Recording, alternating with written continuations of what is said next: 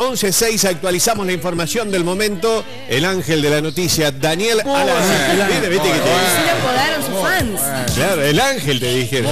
Muchas, muchas gracias, sí, sí. Ya voy a comprar un par de alas, no se preocupe. Jabón Bueno. ala. Saldán, feroz ataque de una jauría. El pequeño de tres años sufrió heridas que le demandaron 18 puntos de sutura.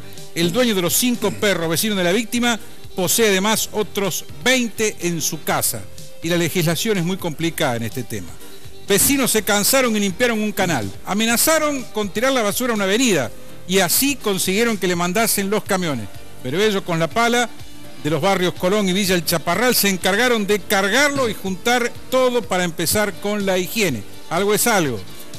El tema que sigue, a los 43 años supo que es hija de un desaparecido. Una historia, la de Silvina Altamirano, que fue criada por sus abuelos.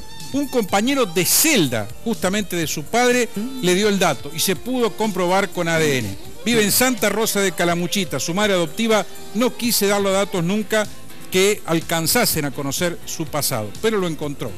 YPF, atención, alertó que podría faltar gas paralizó su producción en Loma de la Lata y Loma Campana por un bloqueo de una familia que exige tierra. Son mapuches. La compañía también advirtió sobre la probable escasez de combustibles.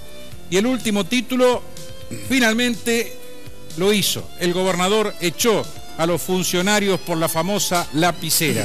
Costó más de 30 mil pesos, era para Scioli, el gobernador Martín Bussi de Chubut, la echó a la directora general y secretaria privada, pero también tomó medidas con otros adláteres.